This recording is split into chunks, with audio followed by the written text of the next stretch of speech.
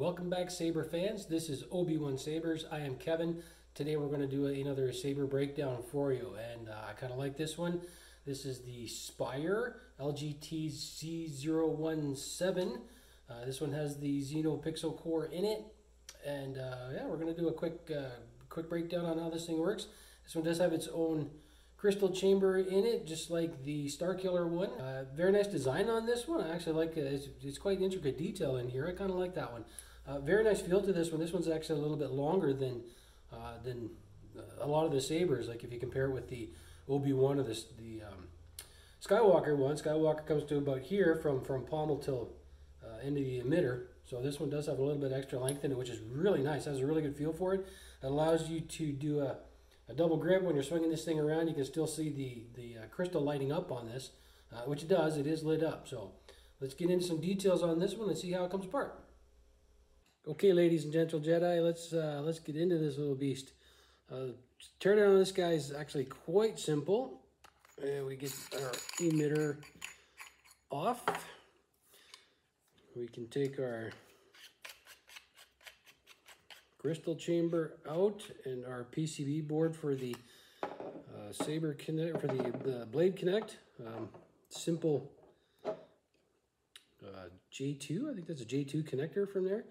Uh, now there are screws in here on either side uh, of the crystal chamber. Uh, you can uh, you can remove those and actually remove all the components in there, but I noticed this one is actually glued in there, so if you want to take that apart, uh, to get that out, you could probably change the crystal in there.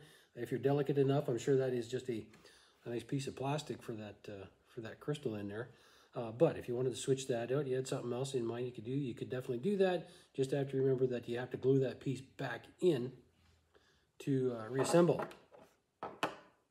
Good to know. The, uh, I know I've had inquiries about the Starkiller crystal being changed out, which I do believe you can. It's the same, same principle, but uh, I find this crystal actually it's it's much larger than the Star Starkiller, and uh, it's really good quality actually. If you get, I don't know if, how good you can see that, but that is a pretty good quality little piece of plastic in there.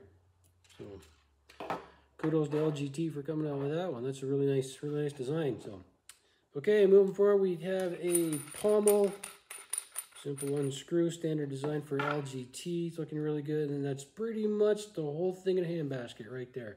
Uh, the two screws, two screws on the back, which hold the uh, electronic core in there. Got the flat style USB port in there, which is kind of nice. More of a more of a new uh, new style thing. Uh, I'm not going to pull the core out of this. I mean, it's very very very standard at this point. You pull the screw, pull the screw, and then slide your uh, slide your core right out of there and away you go. Uh, this one is a slightly different design just because of the connection to the PCB board. But other than that, that's uh, it's a really nice design on there. So let's uh, get her back together, throw a blade in here and see how well she lights up and sounds.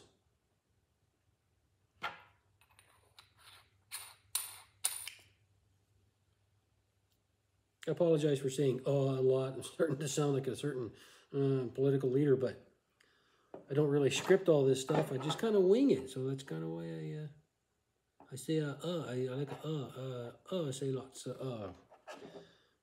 Uh, this part is a little bit delicate putting that back together. They do leave some room in here for that for that wiring, so you just got to kind of slip it in there and make sure it's not to tangle up or get caught up in your threads because that uh, that's to cause a bit of issues if you do that.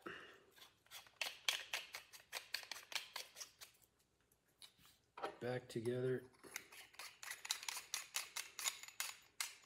Back together. Look at that. I got nice feeling saber. So let's get a let's get a blade in here.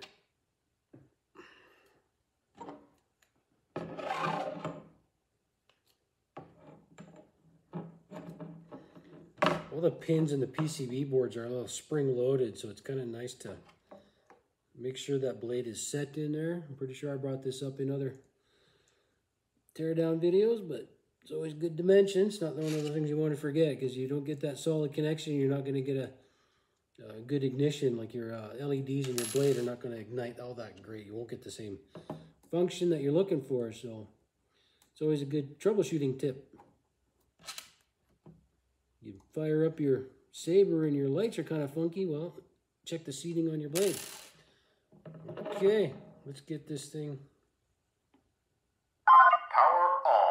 Ooh, we know that works. Very loud. I like the uh, the sound chamber in the end of this thing. Very nice.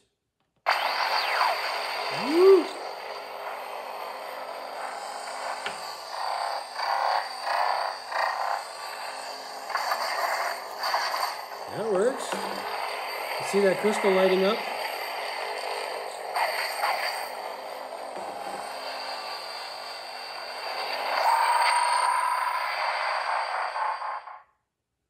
That was a cool effect.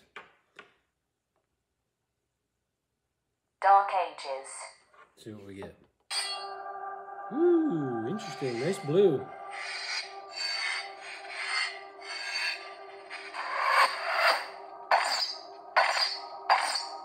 That's very, very cool effects. These Xeno cores are just amazing. Very nice quality piece of electronics in these sabers these days.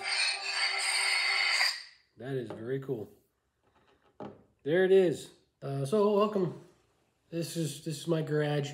Uh, you can kind of see some stuff in the background there. I apologize for that. I'm gonna get myself a studio set up here at some point. But uh, anyhow, this is the uh, the Spire is what we call it over at OB1 Sabers.